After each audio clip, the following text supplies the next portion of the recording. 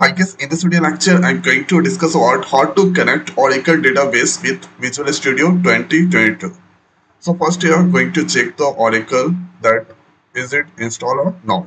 So let's open the command prompt.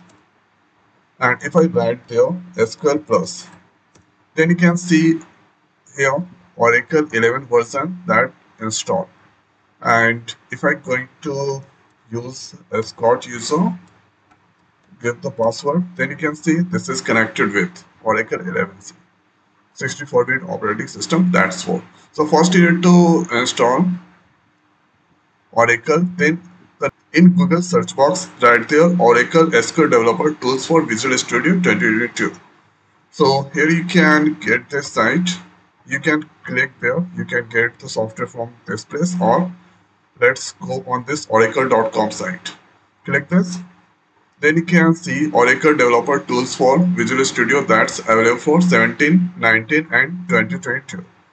So click on this uh, with 2022. After that, click on this download. So software downloads successfully. So before I'm going to install, there I'm going to check Visual Studio. Is it there or no? So here you can see Visual Studio 2022. That's already is there. So first you need to download and install Visual Studio 2022. After that, here you need to click on this VSIX file and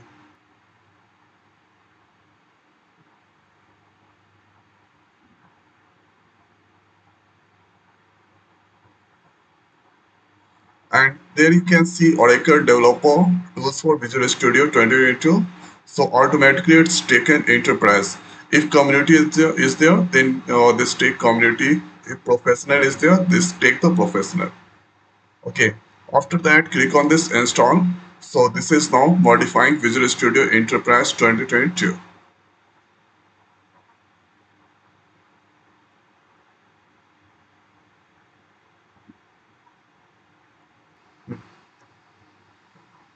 now you can see install complete Oracle Developer Tools for Visual Studio 2022 that's done there. Let's click on this close button.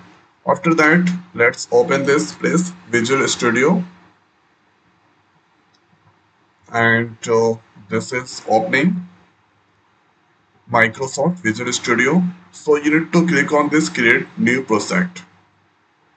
So here you can see all uh, this for automatically detected there so if not detected there, all language that selected from there, you can select Oracle. Oracle, you can select. Now thereafter, you can use your Oracle Database Project. This all. Oracle Database Project version 2. This all you can see. And this is your Visual Basic CLR project using Oracle Database and this is for CISA. So you can use any according to your requirement. So clicking here Oracle Database Project let's click on this next and click on this create. Now you can see there is another window that's come there oracle developer tools for visual studio. So click on this yes yes button. So here you can see this page that's come there. So what you need to do first let's uh, do the changes. So they're going to use here oracle .NET framework data provider for oracle this all selected.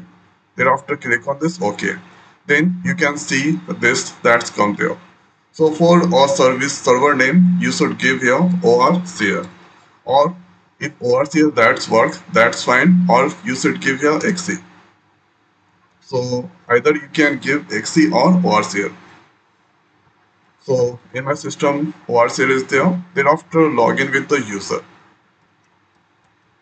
So go log in with the account and give the password. And after giving this all correct info, let's click on this test. Succeeded, click on this OK button and click on this OK. Then after here, uh, you can see that's come there project. And uh, you can see function index package views xml sequence tables. You can create there. Okay. Or if you want to import the database from the Oracle, then click on this tools and here click on this connect to database. So this is connected with the system So let's click here, select Oracle, click on this continue. Again, you need to fill this all detail. So ORCL connecting with the Scott. Let's give the password and click on this test connection Click on this OK and here OK. Now you can see ORCL or Scott that's connected there. Here you can see all the tables that's present. So all tables. So let's use here or see the data inside the EMP table. So here you can see EMP table record that's displaying. Or if you want, then you can so click on this new query. So you can use here. So Oracle, let's select EMP. This is added and let's select DEPT. This tools added. And now you can see this is your select of, of from EMP where this is. This is the query that's generated or default query and here you can see these tools tables are linked with the help of primary key and foreign key or relation. Now after you can use this Oracle or database tables inside Visual Studio according to your project requirement. So this is how we can install or this is how we can connect Oracle database with Visual Studio 2022. So I hope guys this video is helpful for you. So now this video it's over. So thanks for watching. See you next video. Thank you.